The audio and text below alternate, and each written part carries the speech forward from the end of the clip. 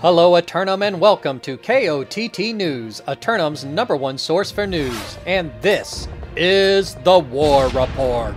Dynamic change in the history of Aeternum last night as the forces of Milked, in partnership with Regime, reacquire the regional resort town of Ebonscale we met with milked regime leadership at City Hall. I'm here in Ebonscale with Darva, who recently acquired the region via conflict resolution out at the Fort of Ebonscale. How do you think it went out there today, Darva? I think it was a pretty competitive war. Uh, we did our best to try to apply like try point pressure, and then uh, we took the fort with uh, I think around uh, ten minutes to go. It was a pretty competitive war. Felt good. I want to say GG's to Secrets. Excellent secrets, I'm sure. Tough competitors out there, but they can appreciate the competition. Now that you do have Ebonscale, would you care to declare what your intentions are for the Hamlet? Yeah, I think number one, uh, we're gonna do our very best to, to milk milk it here for like all it's worth. Uh, we really love Ebonscale. We've got a lot of members that have already had homes here. We plan to keep everything upgraded and make sure everything is top notch in the zone. We appreciate that. I'm sure the members of the Ebonscale Tourism Council are going to appreciate that uh, you're going to continue to maintain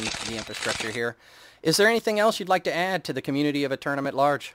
Yeah, I just want to say there's obviously been a lot of rumors flying around about regime maybe collapsing or whatever's going on because of us losing uh, Everfall Windsward. A lot of those were definitely uh, pretty bad defeats. Uh, we just want to say that rumors of regime's demise were greatly exaggerated, and we're here to stay.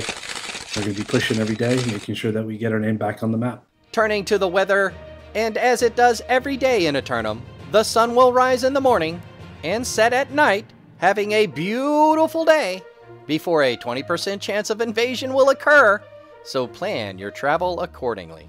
Only one submission for Simulated Fantasy Combat Resolution tonight, brought to you by LARPCO.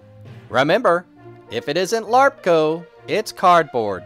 It's a nightcap matchup tonight between the Syndicate forces of Faceless and the Covenant forces of Lost Templar for control of the primary oil reserves of Weaver's Fen. Faceless returned to the peat moss covered fen again after taking a month and a half to reevaluate their attack strategies. Lost Templar make their third defense of the fen, all of which have been against Syndicate forces. Most recently, Nameless. Is this a rematch? Will the outcome be different? Be sure to tune in for complete coverage and reactions from the citizens tonight at 11. Until then, this has been War Correspondent John Chalant, KOTT News.